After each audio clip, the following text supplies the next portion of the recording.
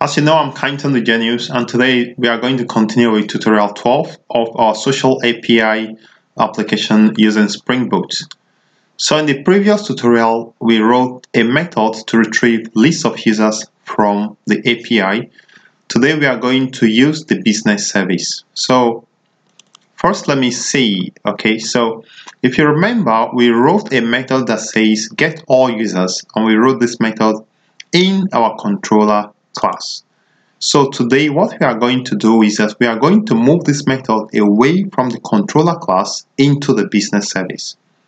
Before I continue, I'd like to remind you to subscribe to my channel by clicking on the subscribe button, the red subscribe button below this video, so it kind of motivates me to continue making these lessons and also you'll get notified when I make new lessons. And also if you have any questions, leave it in the comment box below for me and I'm going to respond to you in no time. So just subscribe to get updates. Alright, so we are going to move the this methods away from the controller into the business service. As I mentioned before, when the request comes from the browser, the brow somebody goes to the browser and types blah blah blah slash users.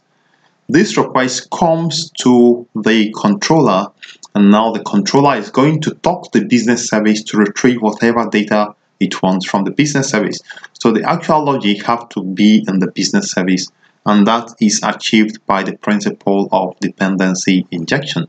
Everything is explained here in the website, so take some time to read it up. And also, uh, there is a link where you can watch uh, what dependency injection is all about uh, right here in this link. All right, in this link you can see. So let's move this method, this get all users away from the user service, from the user controller to the user service. So I'm going to maximize the window for now. And I'm going to copy this.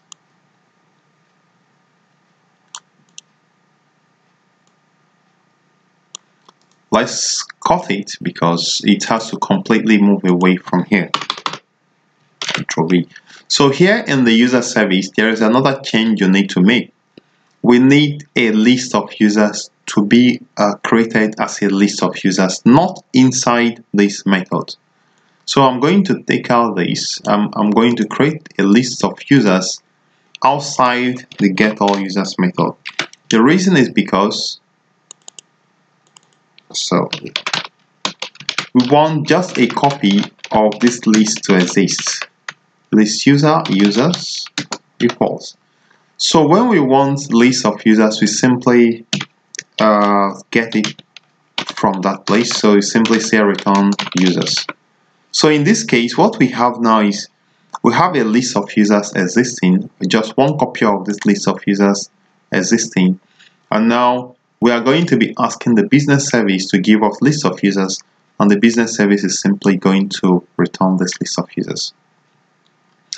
So now in the controller, we are going to write this same method, but we are not going to be writing any logic. We are simply going to get this uh, list from the business service. Before we can do that, we need to create a private variable of the business service in the controller file. So if we create this private variable, it's going to just be one copy of this business service existing and we are going to allow Spring Boot to provide anything we want without having to be creating new objects every time. So what we are going to say is we are going to say private uh, user service user service. So to enable dependency injection, what you are going to simply say is at auto wired. So what this guarantees is that when the application starts up, we have only one copy of this service. So we are not going to be creating new objects every time. All right, so let's continue. So now we are going to write this method again, but this time, this, this time we are going to get the data from the user, from the business service. So we're going to say public uh, list, list of user, uh, gets all users okay so and now we are going to simply say user service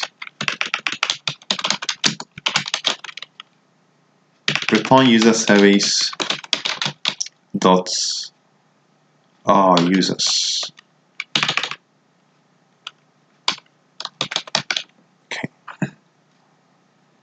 Let's see. Hold on. Let's see. So return user service dot get all users actually. So return user service dot get all users. So let, let's just make sure we are following the right procedure. So um, let's see. So return user service dot get all users. So that is what we are going to do. Return user service dot get all users. So I'm going to close these braces. So now what we've succeeded in doing, we've succeeded in moving the logic away from the controller to the business service. So take some time to get around, get your head around it, and you see that it becomes clearer and clearer. I'm going to test it to make sure everything works perfectly well.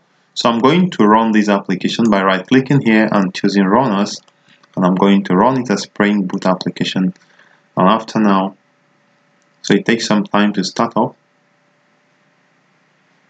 maybe I'll just hide my taskbar so let me just uh, go to toolbar setting and I'm going to just automatically hide taskbar okay so that will have some room.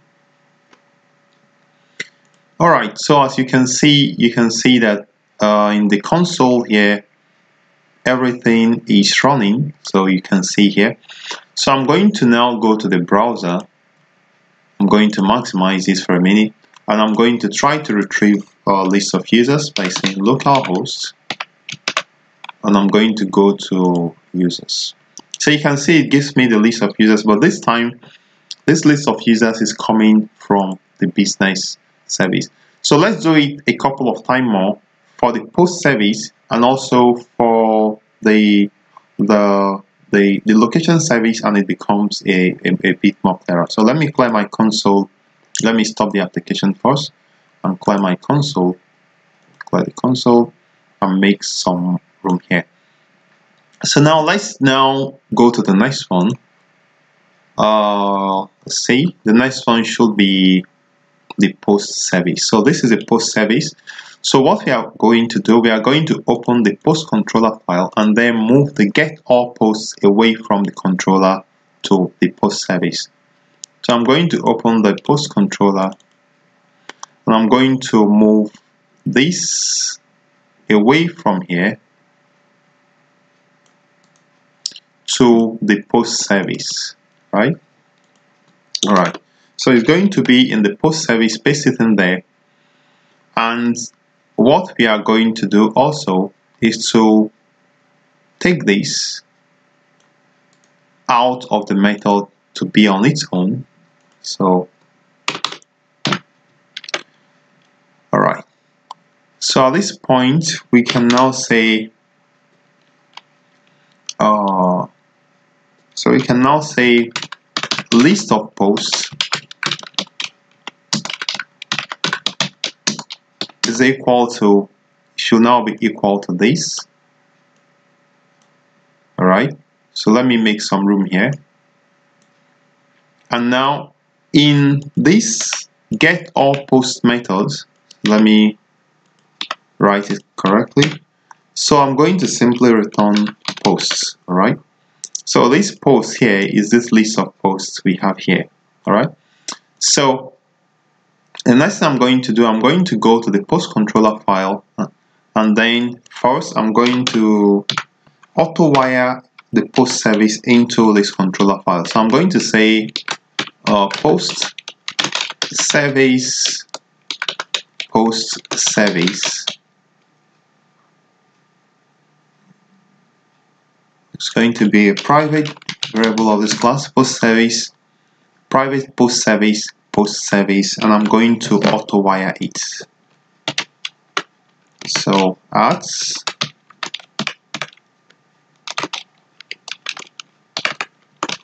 Auto wired. Okay. So that is what you always need to do. So add imports. And the next thing we are going to do let me just make sure this is fine. So the next thing we are going to do we are going to write public get all posts. And it's going to return post service dot get all posts. So it's as simple as this. So why do we have this error here? Public list of posts. Get all posts. So request mapping so you just import it from this bind annotation and also add the import for this as well. So add java.util.list get all posts. So let's add a return statement. All right. So we are done with the post service as well. So let's do it finally this time. Again you have the procedure here so you can follow it. So again we are going to do it for the location service. So I'm going to open the the location uh, the location package and I'm going to go to the controller again. I'm going to let me just make some room by expanding this. I'm going to copy this. Let's copy it and then I'm going to paste it in the location service alright so again we want this to be outside the methods so we are just going to say list of location equals alright? So I'm going to maximize this window to make some more room. So I'm going to come here and say return locations and that ends what we are going to do in the business service the location service. So I'm going to go to location controller. Let me just also take these because I'm writing a function with exactly the same name. Or basically I can just delete all these and I'm going to simply say return okay remember we first need to write a private variable of the business service. So a private member uh, member variable of the business service. So private location service location service. So it looks kind of uh, more complicated but if you do it a couple of times you find out that it is really very easy and that is what you should actually be doing. So we auto wire it into the controller as well.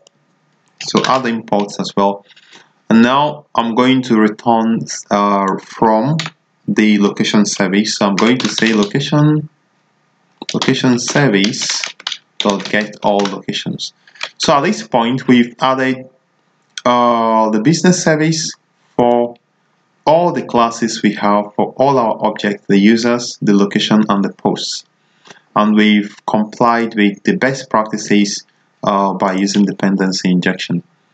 Alright, so it's now time for us to test this application to see that everything works perfectly or everything works fine. Again, I would like to tell you that all the steps and all the code snippets for this tutorial is here. If you look at the description box, you'll see link to this place and you can see all the steps to follow in this place. So let me run this application and then we test it and make sure everything is working fine. So I'm going to just click on here to relaunch the application. So you see everything starts up. As you can see, it tells us that Tomcat started at port 80, 80, right? So as you can see. So I'm going to go to my browser and try to uh, uh, do a get to to, uh, to the users, the location, and the post. So users, everything works fine. So let's go for posts. Everything works fine. And finally, let's go for locations. Everything works fine as well. So we've written the get methods. So let's see where we are. So we've succeeded in using the business service and we've written the get method and we've applied dependency injection. We've auto wired our business service into our controller file and now our controller file can actually talk to the business service. In the next lesson, we are now going to write functions to return a single item like get item by ID. I'd like to thank you for viewing, remind you to subscribe and I also like this video and we are going to see in the next lesson.